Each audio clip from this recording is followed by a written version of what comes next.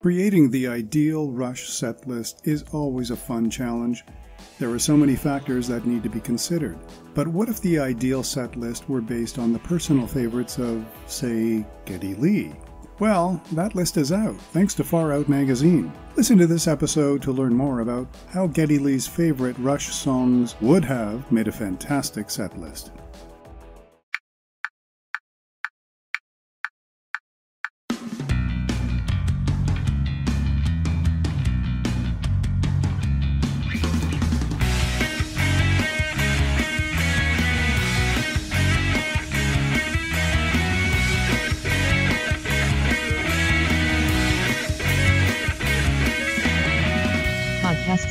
Now.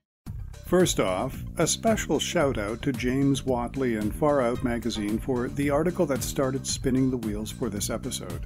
I was recently reading an article in Far Out about Geddy Lee's favorite Rush songs, 19 in all, and one heck of a set list they would make, a running time just surpassing two hours.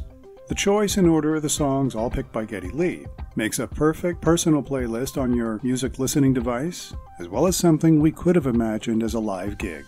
While he didn't specifically talk about these songs as a list that could have been assembled for a live gig, I think you'll agree that his favorites could make a great show. So imagine yourself as one of the concert producers, perhaps a content director. Think of a suitably sized venue, ticket price, and length of show, including an intermission, as well as a possible opening act. You've just received a list of Geddy's personal favorites, and you're not about to ignore his choices, since he probably has at least a bit of influence over the check signing process. Would you include them all? What would be your order? Should any of them receive a special treatment, say, through acoustic interpretation, added musicians, and musical accompaniment? Lights go down, band runs to the stage, and the show opens with Finding My Way. Without a pause, next up is 2112. You choose whether to use just Overture and Temples or the entire suite. Then, why not juxtapose another epic? Or, in this case, an exercise in self indulgence, La Villa Strangiato. Take a slight pause, engage in some chit chat, and move into Tom Sawyer. The rest of the list is as follows Roll the Bones, Working Man, The Garden, I'd be tempted to break things up at this point, possibly with an intermission. Things then resume with Headlong Flight, Far Cry, and YYZ. The list continues with Animate, shifting tempo a bit with The Pass, and complementing this with Mission. The Big Money, followed by Between the Wheels, Subdivisions, and One Little Victory.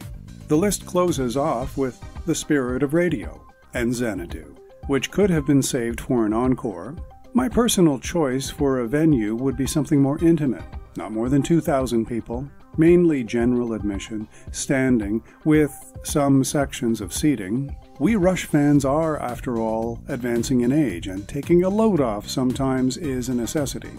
Again, these selections were simply Geddy's favorites, as conveyed in an article published this past December but I think they also make a great playlist for listening, and certainly would have made one heck of a live show.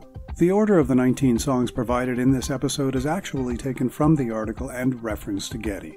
I don't know if he crafted that order, but I think you'll agree that there's a natural fluidity from song to song and as a total listening experience. Visit StevenChristianson.ca for more episodes of Before, Behind, and Between. This podcast is available on all streaming apps and podcast platforms, including Anchor, Spotify, TuneIn, Apple Podcasts, and Google Podcasts. I'm Steven Christianson. Thanks for listening.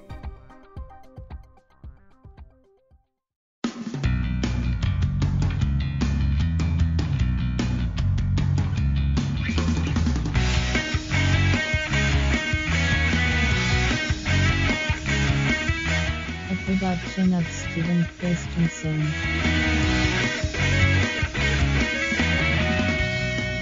Podcast complete.